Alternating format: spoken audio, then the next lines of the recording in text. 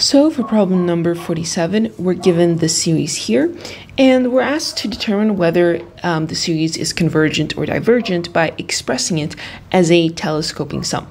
So what we're going to do here is we're going to expand it, and maybe let's expand it up to n is equal to 3 to see what happens. So the first value that we're going to plug in is n is equal to 1. So we're going to have e to the power of 1 divided by 1, so e to the power of 1, minus um, e to the power of 1 divided by n plus 1. So 1 divided by 1 plus 1, 1 divided by 2. 1 divided by 2. So this here is the situation where n is equal to 1. Now let's do with n is equal to 2. So if n is equal to 2, now we're going to add plus, we plug in n is equal to 2 here, so e to the power of 1 over 2. 1 over 2, and then minus 1 divided by 2 plus 1, so minus e to the 1 divided by 2 plus 1, 3. So this is the situation where n is equal to 2, and now let's do n is equal to 3.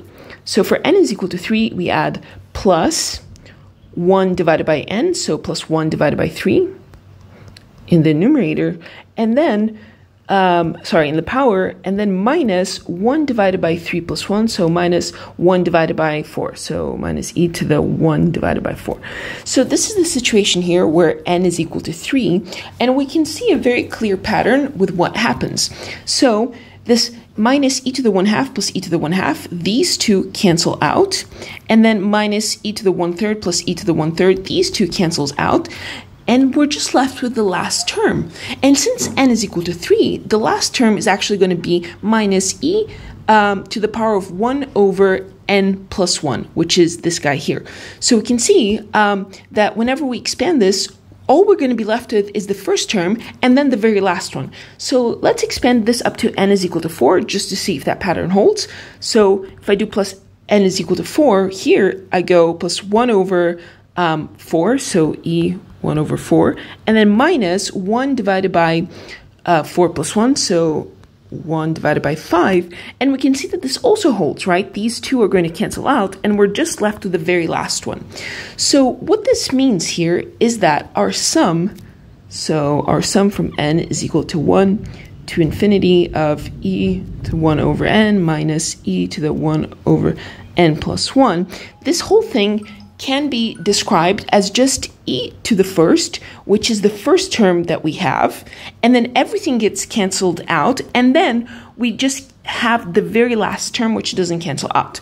But since that very last term, it depends on what n actually is, so we have to express it as a variable. Because if I say, oh, the very last term is when n is equal to 4, that's not true because I want to sum it up infinitely. So the very last term is just going to be minus e to the 1 over n plus 1, um, whatever the value of n is, right? So we have been able to simplify this whole thing by realizing that it's just the very first term that stays and then the very last term. So once we have this, we are now ready to take our sum.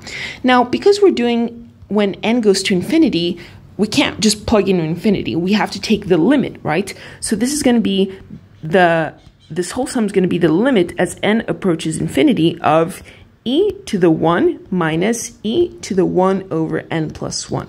And if we take this limit, well, what we're actually going to get here, so let me zoom that out, what we're actually going to get here is, well, this, the limit of e to the 1 is just e by itself, it doesn't change, minus e to the 1 divided by infinity. Well, that limit 1 divided by infinity, it goes to 0. So it goes, it's going to be minus e to the power of 1 divided by infinity, so e to the power of 0.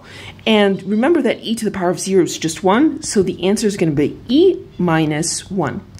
So that is it for problem number 47.